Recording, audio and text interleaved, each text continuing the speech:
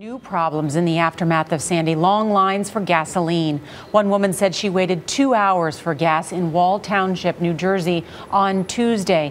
The line at that station was 200 cars long by the afternoon, and many stations in the region are out of gas and other stations remain closed.